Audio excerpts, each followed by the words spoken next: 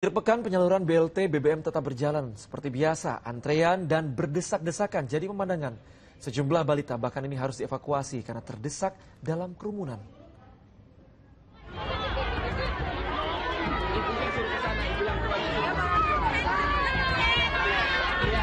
Beginilah tangisan balita yang terpaksa dipisahkan dari sang ibu.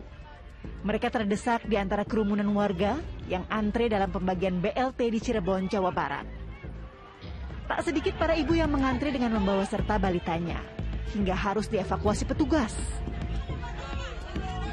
Pembagian BLT subsidi BBM di Kecamatan Mundu, Sabtu pagi sempat diwarnai ketegangan.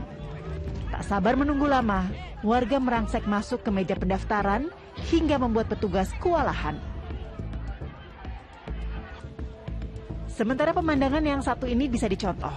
Di Magelang, Jawa Tengah, pembagian BLT BBM diwarnai antrian warga yang tertib dan teratur.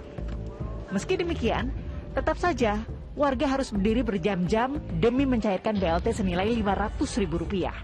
Setengah enam sudah mulai antri karena memang desa Bandungan ini kuotanya 548 orang. Ada antri dua jam. Dua jam. Terus antre dan berdesakan memang menjadi pemandangan lumrah dalam pembagian BLT. Proses vandalisme dan verifikasi data selalu menyita waktu hingga memicu antrian panjang. Tim Liputan 6 SCTV melaporkan dari berbagai daerah